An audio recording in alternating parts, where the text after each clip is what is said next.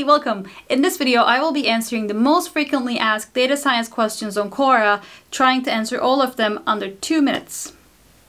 What is the difference between data analytics, data analysis, data mining, and data science? So this is apparently one of the most asked questions, uh, but we counted four things, but we can definitely come out with more titles than this. Um, so just to briefly answer this question, data analytics and data analysis are more about the data itself. So it's about getting insights from the data. It's about understanding the data and it's about drawing conclusions from the data. Whereas data science is more on the uh, side of trying to achieve a goal. So with data science, basically you are using the data for your purpose. You can use multiple data sources for your purpose. But in general, data is just a tool on your way to achieving a certain goal, predicting something, or mo modeling some new thing that you're trying to do. Um, there's also data mining in this question. Data mining is just one step of any of these people might do, something that you might do during your uh, data analysis or data science. So it is not actually a job title. How do I become a data scientist is another question that people ask a lot. This is a very open-ended and vague question, so um, I don't think people should expect really uh, serious answers for this question to be honest because first because everyone's experience is different so depending on your background the advice that people should give you is going to be different and in general you're just asking to some bunch of random strangers that you don't know. So everyone has different motives in life. They might be promoting something. So in general you want to take answer to these kind of questions with a grain of salt. But in general i have uh, a framework in mind. Like if i ever wanted to start again what i would do is to first and this is a step that a lot of people neglect Make a plan for your learnings. First, understand the field on a high level. What do you need to learn and where is your limit to learning? Because if you go endless, it's just endless. You will learn and learn and learn. I'm still learning every day at work. So draw your uh, plan. Do you want to learn basics of machine learning? Do you want to become an NLP uh, specialist? I, I would suggest that you actually become an NLP specialist after you start working, but anyways, Draw your limits, make a list of what you want to learn, then start learning. Then take some courses, study, maybe some maths, but depending on what you need to learn. Do not go too deep. And after that, after you have some fundamental knowledge, after you feel like you are starting to learn things, start practicing right away and do not stop practicing ever. Just keep doing some projects, keep uh, gaining some uh, data science experience, and that's always going to be helpful for you.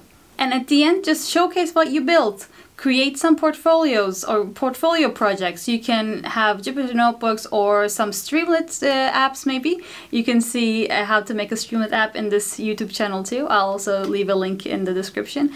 But in general, those are the steps. You want to know what you should learn, go study it, practice it, and then show the world that what you know. What are the key skills of a data scientist? So I can easily count at least five. Um, I'm not going to give you very detailed skills because I have to, I want to point out again, the skills that you're going to need, especially technical ones, are going to depend a lot on the company that you work for.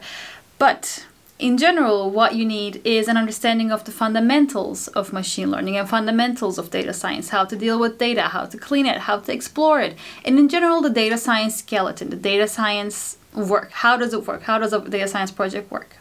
Good. And everything that works in that. And then you need an understanding or you need the willingness and curiosity to actually learn learn more. You want to always study with data science. There's a lot of things to learn. So you need the willingness and the ability to learn more when there is a need. Third one is communication. I cannot stress this enough. It is a very important skill in data science to be able to look at things in a different perspective, which is sometimes not technical, and explain to people what you mean by the thing that you're saying. You cannot, you cannot expect people to understand data science terms. Fourth is being able to code efficiently. You don't have to be a coder, you don't have to be a developer to become a data scientist, but at the end of the day, you need to be able to implement the ideas that you come up with or implement data science pipeline that you come up with. So you need to at least be on the level. You don't need to be a Python whiz, you don't need to be a R whiz, but you need to at least be able to implement the task that is given to you in an efficient way. And the last one is more of like a quality than a skill, I would say, but you really need to have a can-do attitude.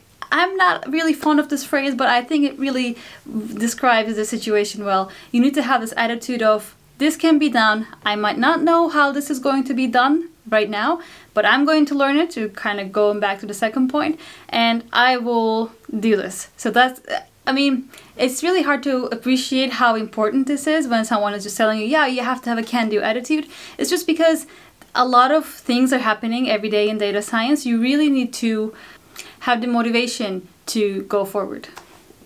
What is the future of data science? So I think this is an excellent question. I think it makes a lot of sense to think about this already. Uh, but if you're an aspiring data scientist, I think you should first worry about getting into the data science scene. But anyways, here's what I think is the future of data science. First of all, I think it's going to be AI ethics. It's becoming more and more important because AI is everywhere in the world and a lot of applications. We need a way to regulate the ethics part of everything. Second one is human augmentation. So a lot of people have been talking about how AI is going to replace people's jobs, whereas I think what's going to happen is we are going to start developing AI systems specifically designed to work with people and not instead of people. So we will have AI systems that will help people do their job more efficiently and more accurately in a more correct way. And the last one is machine learning systems working with knowledge-based systems, combined systems. So there are a lot of machine learning solutions out there, some of them very good, but at the same time, sometimes they still come short. And I think there is really big ambitions for what AI and machine learning can achieve. So I think what's going to happen is that people are going to uh, start tending more towards the knowledge-based systems and starting to merge these uh, two different approaches to uh, machine learning and we will have combination systems in the future. What tools do data scientists use? So again, I think most of it is going to depend based on the company that you work for, but of course the bare minimum is that you need to be using Python or R. Most commonly Python. You could also have Scala or Julia. I think those ones are kind of like up and coming recently. Um, you also might be working with some IDEs, which is a development environment. So for example, for Python, we use Jupyter Notebooks sometimes, but you might need to use some other environments where you can code. Same with R, it could be RStudio. Uh, other than that, you probably would need to work with GitHub, and even if your company doesn't want you to work with GitHub, you still should work with GitHub because it's amazing to do version control. Everyone should be doing it. Um, apart from that, I mean, if you're going to go into really details of deep learning, etc., you might need to use Keras. Uh, oh, but of course, I'm sorry, if when you're using Python, you would need to use libraries. It's not just Python, you would need to use libraries like Pandas, scikit-learn, etc., etc., NumPy. I'm not really familiar with the libraries in R, but um, apart from that, if you also want to do deep learning, you might use Keras, TensorFlow, or you know, like a library like Hugging Face, where they have a lot of um, natural language processing uh, algorithms and methods or models already implemented.